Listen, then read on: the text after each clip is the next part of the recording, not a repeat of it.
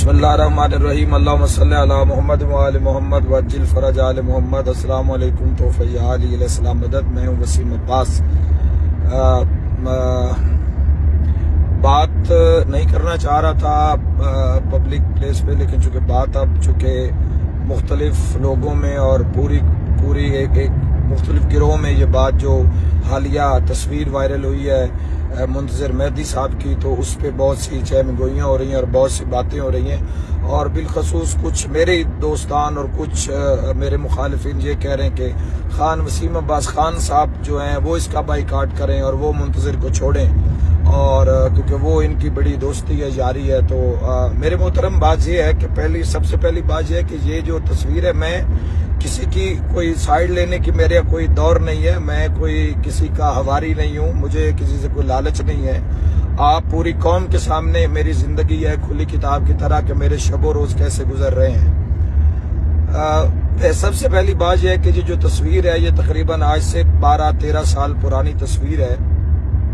आ, उसमें आप देख सकते हैं बिल्कुल वो यंग हैं और जो भी आ, आ, वो तस्वीर है जो भी वायरल हुई उस पर मैं बात नहीं करना चाहता। बात यह है गुजारिश ये है कि देखें सबसे पहला जो गलत काम है कि आप किसी की पर्सनल लाइफ में जाके आप किसी की पर्सनल ज़िंदगी को आप जब उठा के आप पब्लिक प्लेस पे लगाते हैं या शो ऑफ़ करते हैं, ये इसका हक बिल्कुल इसी इसी बुनियाद पे बहुत सी रिवायात मिलती हैं कि किसी मोमिन की तजलील करने या किसी के लिए किसी के पर आपको क्या प्रूफ है कि हो सकता है कि उस औरत के साथ मौसूफ का निकाह रहा हो, या हो सकता है उसके साथ वो मुता रहा हो उसका, या हो सकता है कि इन दोनों बातों में और तीनों बातों में कोई हकीकत ना हो तो हम और आप नहीं जानते।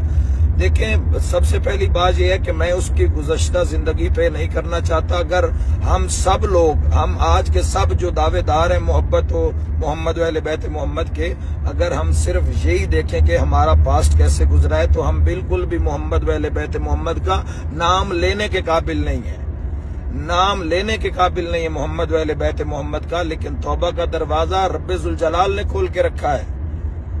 अगर तोबा का दरवाज़ा इंसानों के हाथ में होता तो यकीनन ये कभी उसको ना खोलते, चाहे उस दरवाजे पे लोग टकरे मार मार के मर जाते। तोबा का दरवाज़ा खुला है। आप ये देखें कि लोग कह रहे हैं कि वसीम अब्बास का दोस्त है, वो मेरा दोस्त है। मैं उस मलिक मुंतजर मेहदी को जानता हूँ, जिसकी वजह से ला लातादाद गरीबों के घर चल रहे हैं। मैं उस मुंतजर मेहदी को जानता हूँ, जिसकी ज़िंदगी में अल्हम्दुलिल्लाह नमाज़ शामिल हुई है।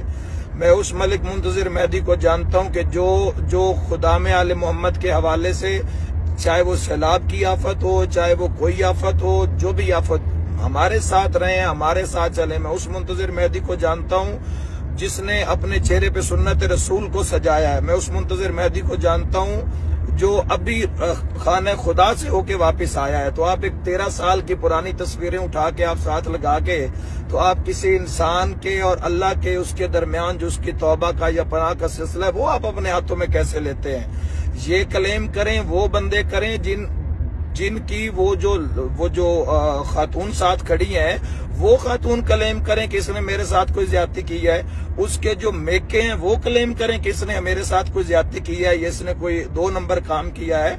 एक फ़ोटो आप उठा के लेते हैं, जब आपको नहीं पता, कोई निकाह का सिलसिला है, कोई किसी का मोते का सिलसिला है, या किसी के को, कोई भी ऐसा काम है शरीयत में हज़ारों रास्ते मौजूद हैं। आप मिम्बर मिम्बर पे खुद खड़े होकर आप फरमाते हैं कि कुरान में निकाह का हुक्म दिया गया है और अगर जो निकाह की हद तक ना पहुँचे वो अपनी अपने आप को महफूज रखने के लिए गुनाहों से आप मुख्तलिफ़ रास्तों को आप जो है वो आप इख्तियार कर सकते हैं। तो मैं उस मुंतजर मेहदी को जानता हूँ जो लंगर खाने चला रहा है। मैं उस मुंतजर मेहदी को जानता हूँ जो गरीबों का इलाज हॉस्पिटल में जाके इलाज करवाता है मैं उस मुंतजर मेहदी को जानता हूँ कि जो अपनी पाक न्याज में से अपनी पाक न्याज में से जो मोहम्मद सादात के जो घर है उनमें वो मंथली पहुंचाते हैं मेरे पास आए मुझसे पूछे। अभी कली की बात है कि पचास हज़ार रुपया सैयद नाम नहीं लूँगा शाहपुर से चकवाल के एरिया में से मेरी उनसे बात हुई थी कि उनकी दुकान है उनकी आँखों से उनकी बिनाई कमज़ोर हो गई है सात बेटियाँ सैयद की। तो फौरी पचास हज़ार रुपए के जो, जो डोनेशन है, वो अपने न्याज से दी। आप किसी के पास को, किसी के गुजरे हुए जमाने को सामने रखकर आप बिल्कुल किसी के अंदाज़ा, किसी के कद का और वो आप नहीं लगा सकते। एक बंदा अच्छे काम कर रहा है, सुन्नत रसूल सजा ली है, अल्लाह के घर से होके आ रहा है, अच्छे अमाल कर रहा है, मौला का ज़िक्र कर रहा है, गाने वाली तर्जों पे कोई कसीदा नहीं पढ़ रहा, नमाज़ ज़िंदगी में लेके आया तो हमें ऐसे लोगों को वक्त देना चाहिए।